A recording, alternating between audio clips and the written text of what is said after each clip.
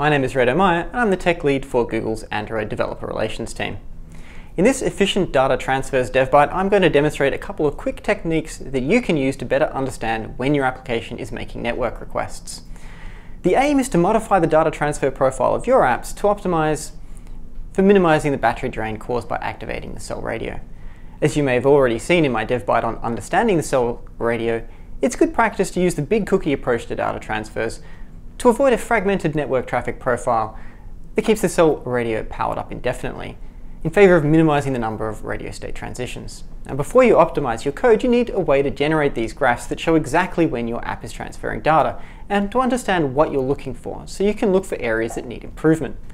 There are several tools you can use for this. Most simply, you can use Logcat to generate log entries that define the timing information of your network requests and at their start and endpoints, and then use the exported log file to graph the output using the graphing tool of your choice.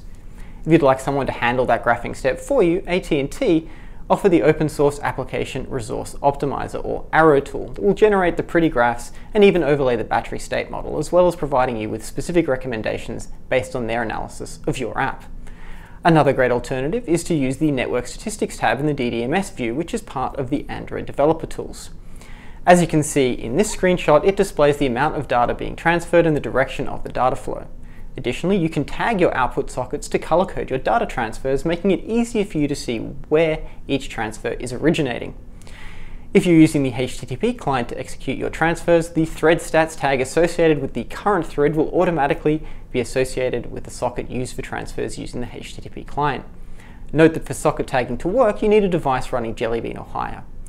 So once you've generated a representation of your app's transfer profile, you can start analyzing it for battery inefficiencies.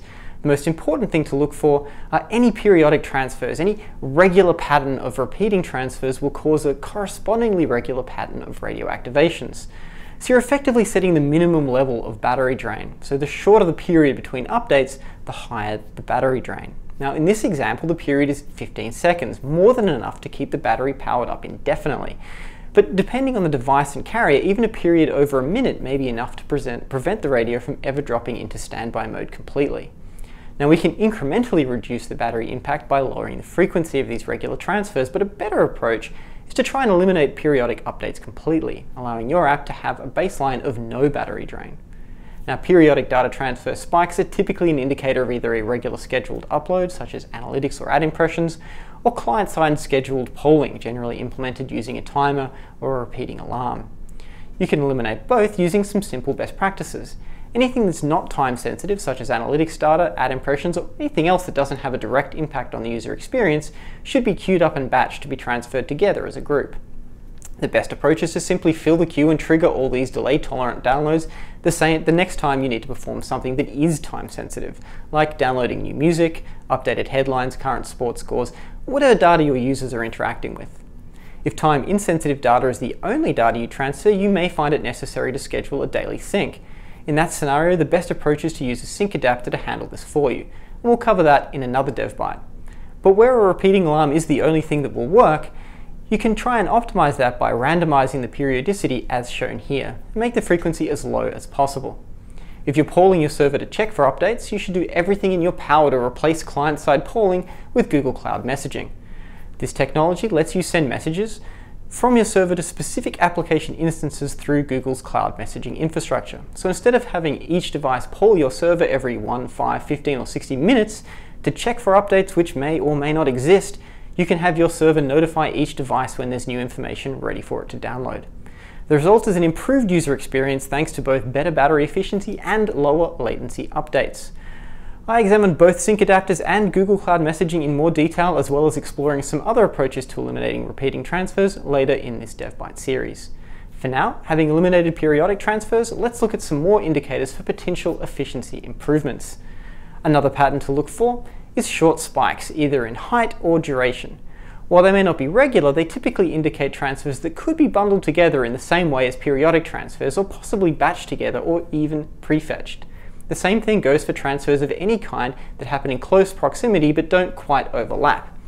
Now it's significantly more efficient to have transfers happen when the radio is already in its active state. So when a time-sensitive transfer is initiated, for whatever reason, you should look, up, look to preempt any transfers which are likely to occur within the next few minutes.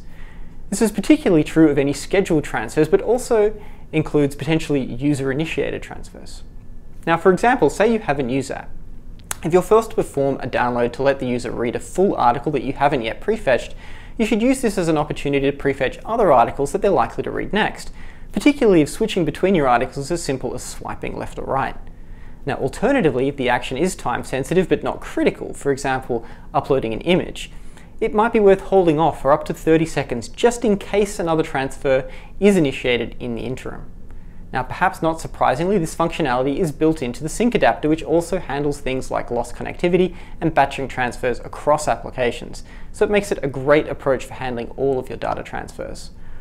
I'll dive into that and further efficient data transfer topics in more detail in other DevBytes in this series, including how to implement some of those best practices using simple code patterns, Google Cloud Messaging, and the Sync adapter.